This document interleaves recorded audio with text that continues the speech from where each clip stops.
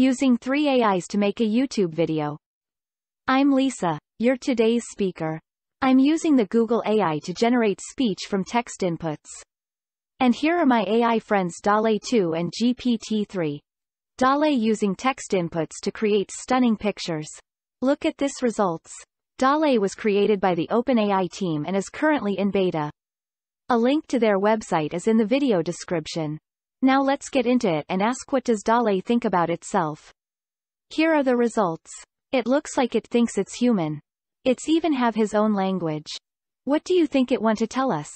Unbelievable. But for now we leave DALL-E and look at my friend GPT-3. A generative pre-trained Transformer 3 is a language model that uses deep learning to generate human-like text. First, let's ask what this AI thinks about itself. I think I'm a pretty cool person.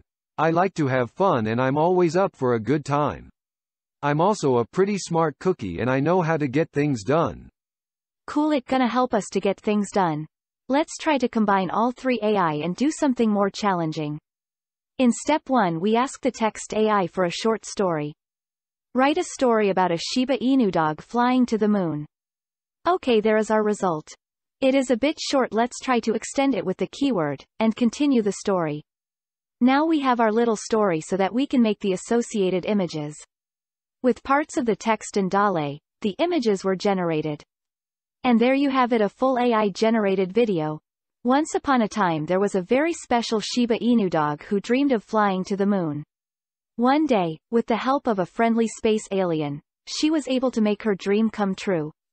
The two of them blasted off in a rocket ship and soon they were orbiting the moon.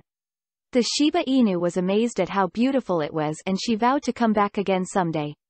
The alien, who was also very fond of the Shiba Inu, decided to give her a special gift before they returned to Earth. He gave her a magic necklace that would allow her to fly whenever she wanted. Now, every time the Shiba Inu looks up at the moon, she knows that she can visit anytime she likes. All she has to do is put on her necklace and soar away. Leave your idea in the comments.